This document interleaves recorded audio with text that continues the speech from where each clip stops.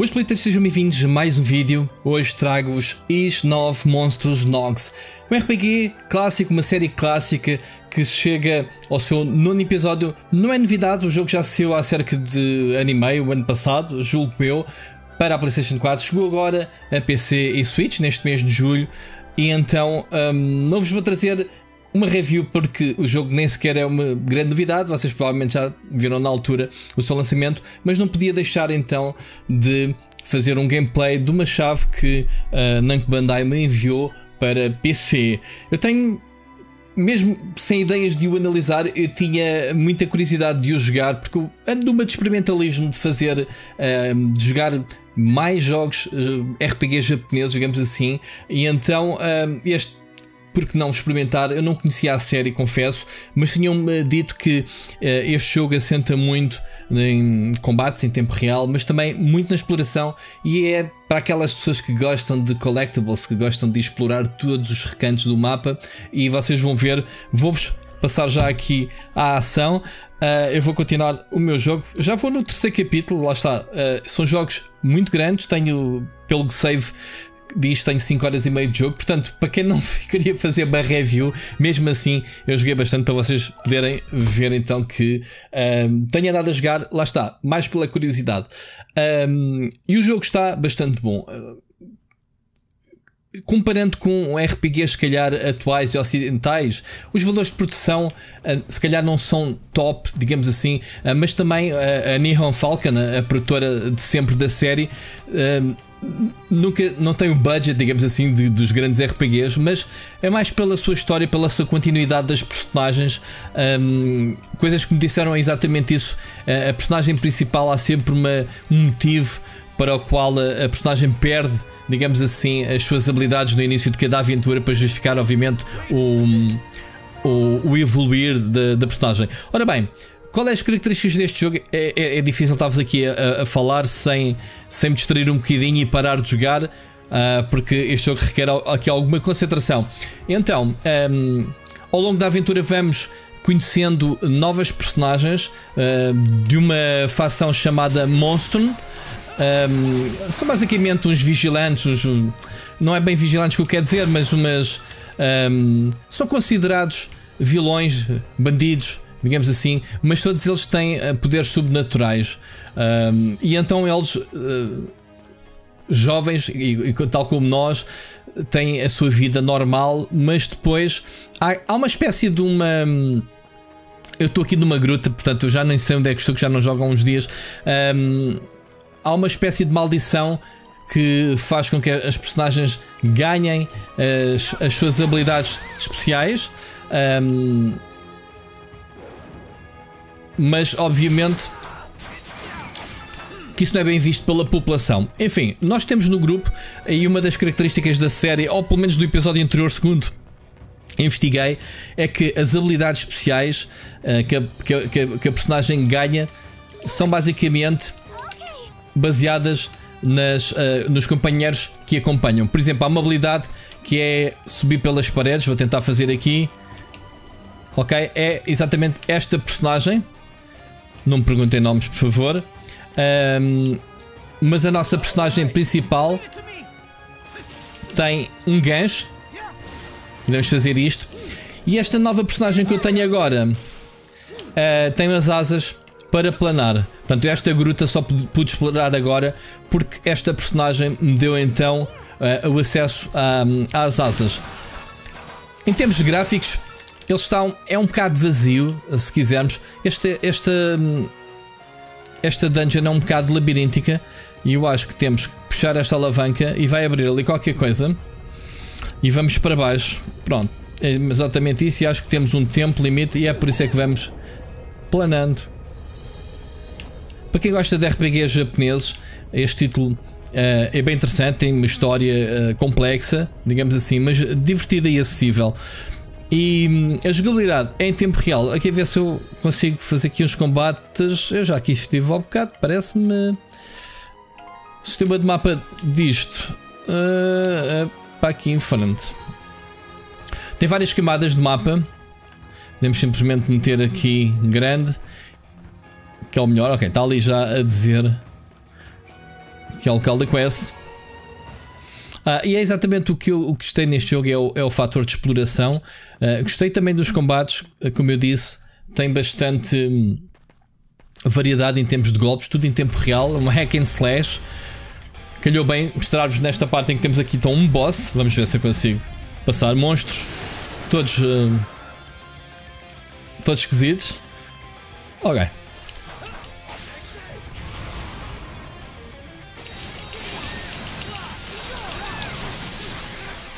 Basicamente esmagar botões. Podemos alternar eh, entre as habilidades das personagens e depois há umas transformações. Ok.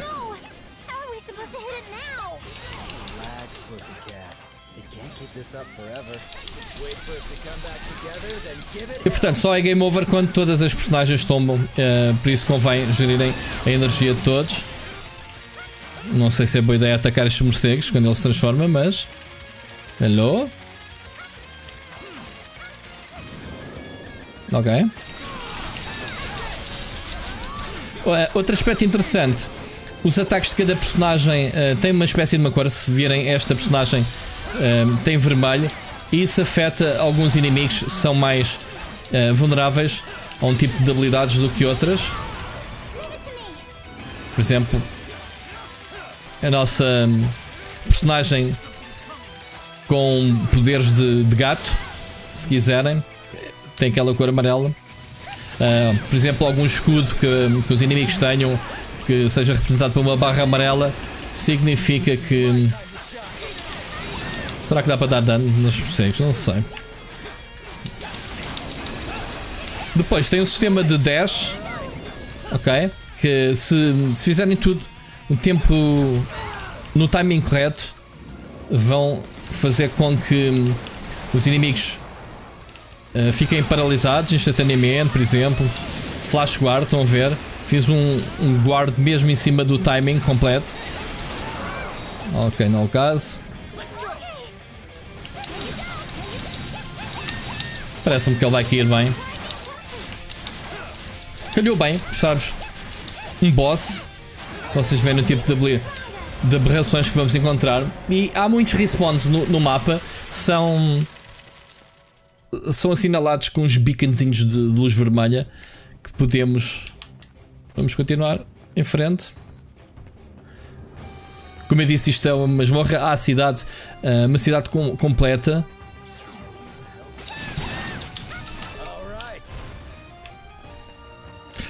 Podem construir espadas, podem construir armaduras, Portanto, muitas armas. São recursos que se apanham também as flores.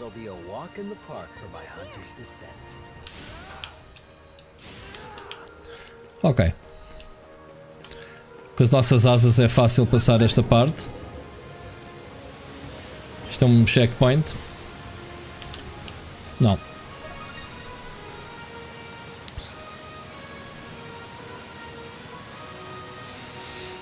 Basicamente, para vos dar aqui um pequeno lamiré, um, eu tenho andado quase a fazer coleção de gameplays no canal. Se vocês têm estado a tempo, tenho trazido muita coisa, nem que seja um pequeno contacto, só para vocês.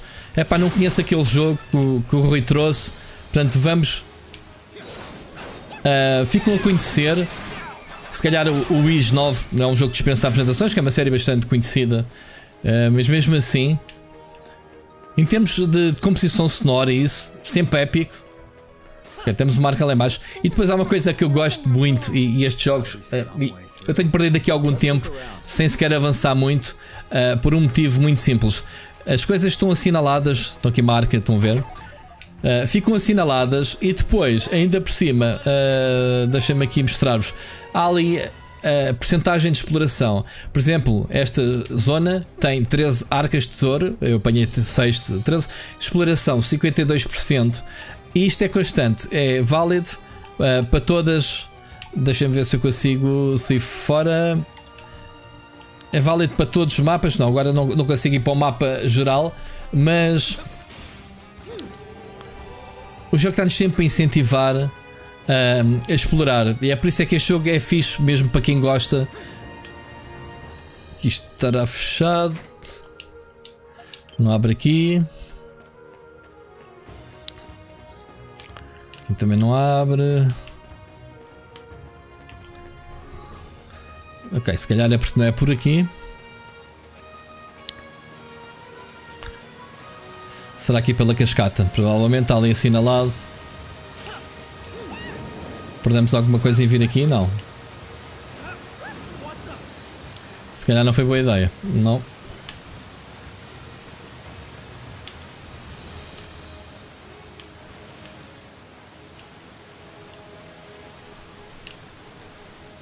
Mas ele mostrou qualquer coisa aqui no cenário. Se calhar é aqui. Aqui uma arca e tudo, tesouro.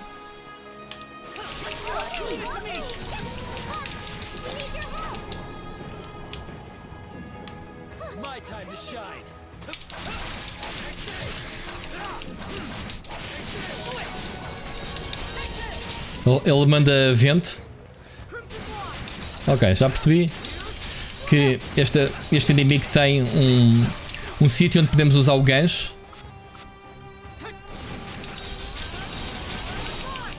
Não é fácil este. Se eu for com esta personagem. Ele tem um escudo azul, portanto. Exato, estão a ver? Escudo azul. Estou a jogar com a personagem azul. E eh, foi muito mais rápido mandá-lo abaixo. Ok, goldzinho. Destruindo estas coisas.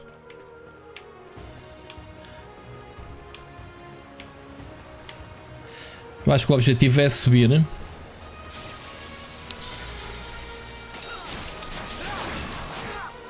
Ok. Será por aqui o caminho?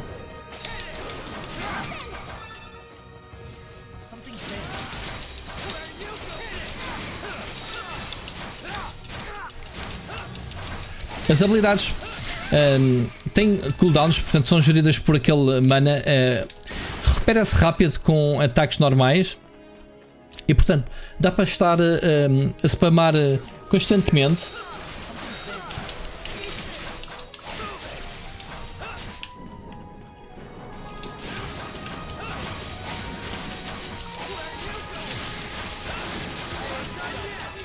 Level up.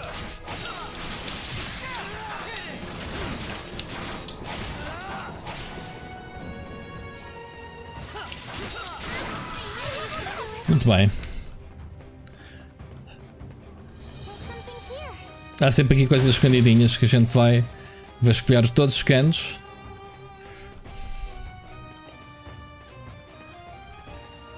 A cidade em si limita-nos um bocadinho a progressão porque há umas barreiras invisíveis que nos obriga. Um, estão a ver aquele esférico lá em cima vermelho? Obriga-nos a preencher isso, ir desbloqueando e explorar novas áreas. Portanto, há um, apesar do mapa teoricamente estar todo aberto à exploração, e é o mapa da cidade que é enorme, acho que é o principal palco onde se passa a ação desta aventura, pelo menos ainda não saí de lá. Um, mas o progresso é um bocado mais lento porque condiciona-nos primeiro a, a completar sidequests que podem fazê-lo ou, ou, um, ou preencher aquela barra, como eu lhes disse, para depois abrir um desafiozinho, uh, um combate por vagas de inimigos. Portanto, tem assim esse, essas mecânicas uh, de ação. Ok.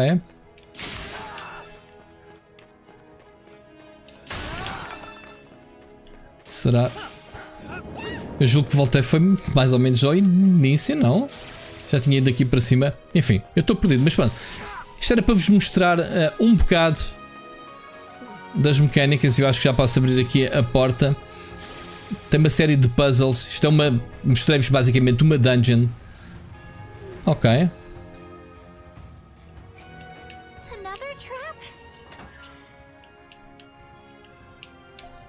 This is what I call hospitality. Don't mind if I make myself at home. E não era por aqui o caminho, isto era só tesouros. Pronto, eu não sei se consigo um, sair daqui para ir para outros uh, sítios. Ok, vou sair da masmorra já agora. Vamos mostrar aqui dois minutinhos da, da cidade. Uh...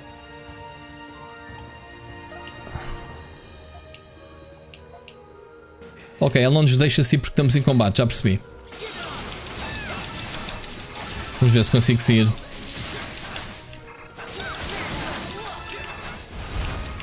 Estamos livres?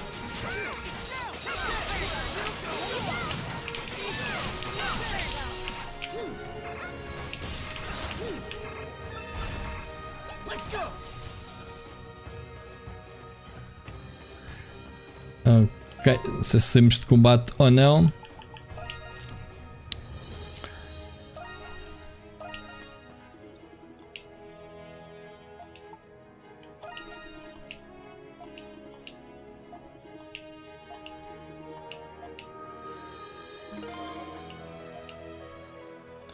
Ok, voltamos à cidade e em tempos de história o Rock não nos quer acompanhar, uh, para já, pelo menos. Porque à medida que vou avançando a história vão desbloqueando então novas personagens. Isto é basicamente a nossa base de operações. Quando vocês completam missões secundárias para certas personagens, elas podem se juntar uh, a nós e vêm aqui parar, podem falar com elas, de, desde vendedores a blacksmiths e essas coisas todas. Mas vou-vos só mostrar. Uh, temos que subir, isto é a basement da casa. Temos uma série de personagens que se vão então juntando a nós vocês podem falar, podem melhorar até as relações que está tão na moda, as relações com os personagens oferecendo-lhes coisas e, e, e prendas e isso.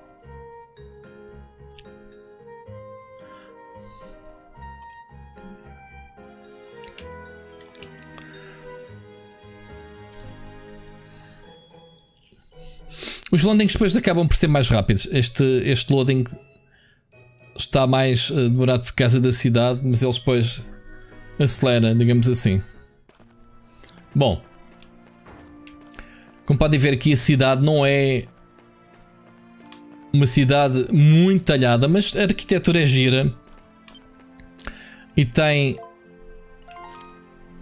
um mapa cheio de sítios para ir, várias áreas que vocês podem ver um, o que é que exploraram em cada zona, a percentagem. Eu, por exemplo, um, tem 42% na Prison City of Balduk. Portanto, Balduk é a zona central onde se passa a ação.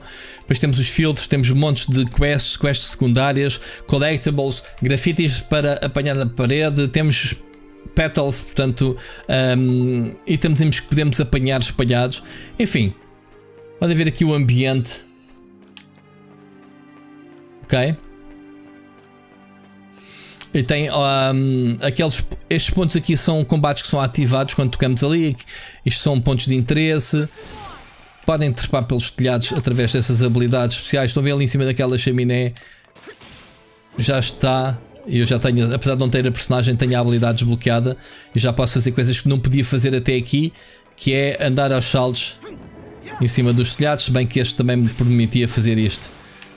Vão ver aqui, olha. Mais uma petal. Pronto. Muita coisa para apanhar quem gosta de explorar. A cidade é grande. Ok? Não é muito preenchida. Até podemos dizer que é um bocado vazia. Mas pronto, isto é então o Wiz 9 Monstrum Nox, Monstrum Nox, assim é que é, um, para PC, versão Steam. Podem jogá-lo também na Switch, obviamente na PlayStation 4 já saiu ano passado. Uh, digam nos comentários o que é que vocês acharam. Não se esqueçam de deixar um like para apoiar estes vídeos e vemos no próximo. Grande abraço.